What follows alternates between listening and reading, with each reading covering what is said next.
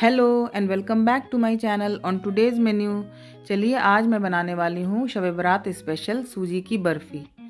तो इसको बनाने के लिए मैंने लिया है ये सूजी एक कप। ये कुछ ड्राई फ्रूट्स हैं जिनको बारीक बारीक काटा है जैसे काजू बादाम पिस्ता तरबूजे के बीज ना, नारियल। और इन सब जितना ड्राई फ्रूट लिया है उनमें से थोड़े से ड्राई फ्रूट को पीस लिया है, उनका मोटा मोटा पाउडर बनाया है। और जितनी सूजी लिया है, उससे आधा चीनी लिया है। उससे थोड़ा कम चीनी लिया है, पूरा आधा नहीं, थोड़ा कम चीनी लिया है। और चीनी की हम सबसे पहले चाशनी बनाएँगे तो उस चीनी को हम एक पैन में डालेंगे। और जितनी चीनी ली है, उतना ही पानी डाल करके इसकी चाशनी तैयार करेंगे।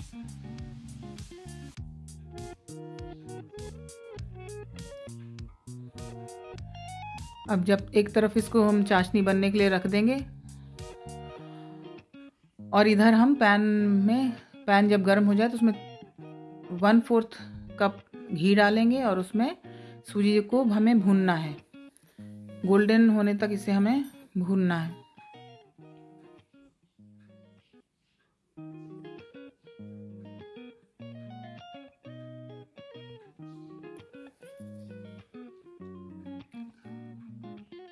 इसको धीमी आँच पर भुनना है। आँच तेज़ करने से सूजी बहुत जल्दी जल जल जाती है। तो इसे धीमे आँच पर धीरे धीरे भुने। अब देखिए हल्का हल्का पिंक होने लग गया है।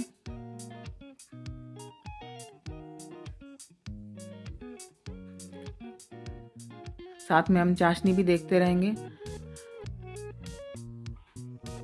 अब इतने, इसी स्टेज पर हम ये पिसा हुआ जो क्रश किया हुआ ड्राई फ्रूट का पाउडर है, ये हम डाल देंगे।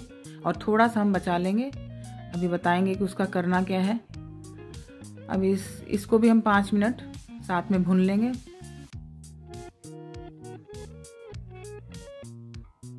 अब ये भुना हुआ हो गया है तो चाशनी हम इसमें डाल देंगे। चाशनी बस ऐसी होनी चाहिए कि जो ड्रॉप आप गिराइए तो ठहर के गिरे। अब भूनते टाइम ही चाशनी डालने के बाद हम आधी चमची इसमें डालेंगे इलायची का पाउडर। और जितना ड्राई फ्रूट काट के रखा था, सब इसमें हम थोड़ा थोड़ा डालेंगे थोड़ा थोड़ा ऊपर गार्निशिंग के लिए बचा लेंगे।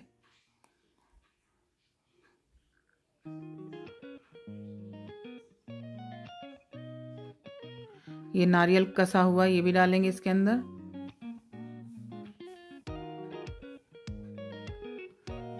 जितना भी इसमें आप ड्राई फ्रूट ज़्यादा भी डाल सकते हैं, आप जितनी, जितना आपको चाहिए उतना डालिए, कम भी डाल सकते हैं। बिना ड्राई फ्रूट के भी बना सकते हैं। तो ये कोई ड्राई फ्रूट कोई ऐसे कोई ज़रूरी चीज़ नहीं है कि डालना ही है। ये बगैर ड्राई फ्रूट के भी बनेगी।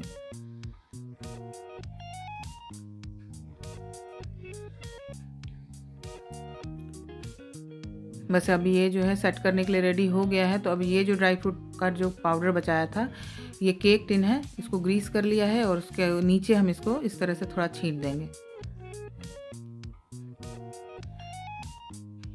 अब इसी केक टिन में हम इसको निकालेंगे और यहाँ पर जल्दी जल्दी काम करना है, नहीं तो ये सेट हो जाएगी फ़ौरन।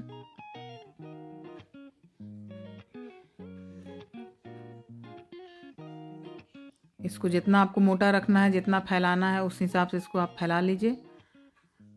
और इस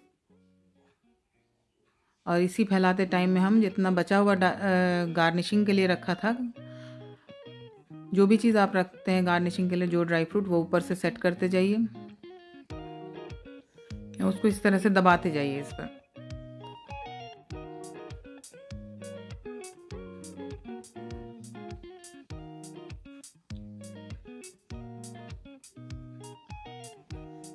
बस अब हमें इसे काटना बचा हुआ है, बाकी सारा ये रेडी हो चुका है।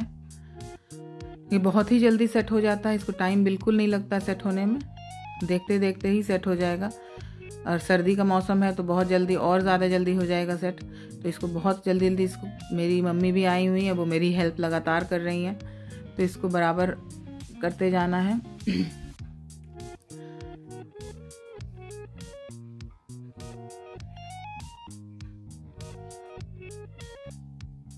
अब ये बराबर हो गया है तो अब इसकी हम कटिंग कर लेते हैं। इसको हम इस तरह से बर्फ़ी की तरह काटना है।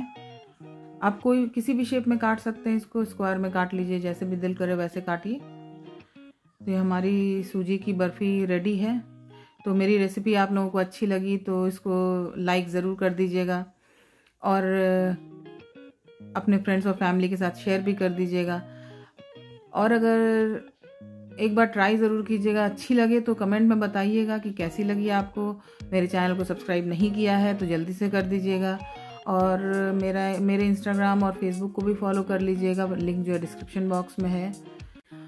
मेरी एक वीडियो डेली अपलोड होती है। अभी मैं शब बरात स्पेशल सारे जो जितने भी हमारे यहाँ शब बरात में बनता है, हलवा वगैरह उसकी रेसिपी डालने वाली हूँ तो उसको ज़रूर देखिएगा और सपोर्ट कीजिएगा।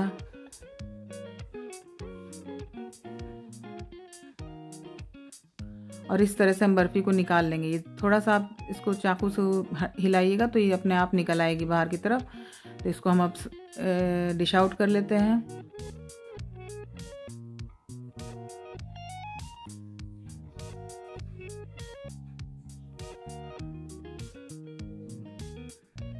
तो ये हमारी सूजी की बर्फ़ी रेडी हो चुकी है। बहुत ही टेस्टी वाली।